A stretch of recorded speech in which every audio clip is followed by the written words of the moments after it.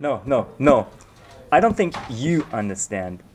This is a central part of our presence at the Games Convention.